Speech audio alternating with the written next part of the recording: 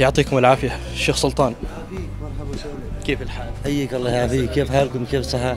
لقاءات سابقة جمعتنا في الاستديو لكن الآن الكل مطالب أن يكون في الميدان. الكل في الميدان الحمد لله رب العالمين. ها أبناء عمان كلهم جزاهم الله خير جهودهم متضافرة من شمال عمان إلى جنوبها من أدناها إلى أقصاها. فهذه خصلة حميدة في الأمانيين وهذا ديدن الأمانيين. كنا, نتق... كنا نتحدث ليلة البارحة عن حملة تطوع وجدناها اليوم ملحمة.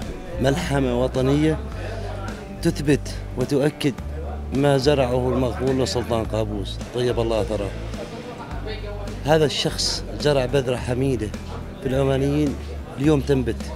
نبت نبت حسن لله الحمد. سلطان هيثم طول الله في عمره. على نفس المسيرة. العمانيين يأكلوا. هذه خصال حميدة هذه صفة حميدة. الله سبحانه وتعالى لا يفرق. يعني ولا ولا ولا ولا يحرمنا من هذه اللحمة. والله والله والله لولا هذه اللحمة لكنا في معاناة أنا أنا أعلم وأدرك أن الحكومة قائمة بدور لكن جهود الحكومة لا تستطيع إلا بهذه اللحمة وهذا التكامل الوطني العماني من الصغير والكبير وأيضا حتى الوافدين المقيمين على أرض عمان أيضا مساهمين فلله الحمد والشكر شيخ سلطان ما هي الأولويات الآن؟ فرق العمل ستتوزع لتقديم أي نوع من الإسناد حاليا كأولوية؟ شوف أنا أعتقد اللي صار في الفترة الماضية مسألة إيصال المؤن للناس كانت أولوية. فتح الطرق وإعادة الخدمات الكهرباء والمياه والاتصالات كانت أولوية. اليوم الأولوية اللي أراها لابد أن تكون على أرض الواقع أن الناس تعود إلى منازلها وتستقر. ولكي تعود الناس إلى منازلها وتستقر الفرق التطوعية الآن التي تعمل في الخابورة في كل مناطقها تقوم بتنظيف هذه المنازل.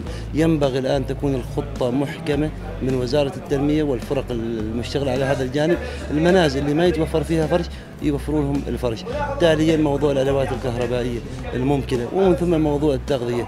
وأنا أعتقد لو وجدت الخطة بهذا التسلسل وبهذا النظام وبالتنظيم أعتقد أن العمانيين أو أهل الخابورة تحديدا خلينا نقول مع كل الاحترام لإخواننا اللي يعني نشعر فيهم في الولايات الأخرى بيبدأوا يعودوا لحياتهم تدريجية شيئا فشيء بإذن الله تعالى اليوم كل دقيقة ثمينة. لذا ما نعطلك أكثر عن كذا جزاكم الله. شكرا جزيلا لجهودكم ودوركم البارز. الله يحفظكم والله يحفظ عمان يا رب. جزاكم الله خير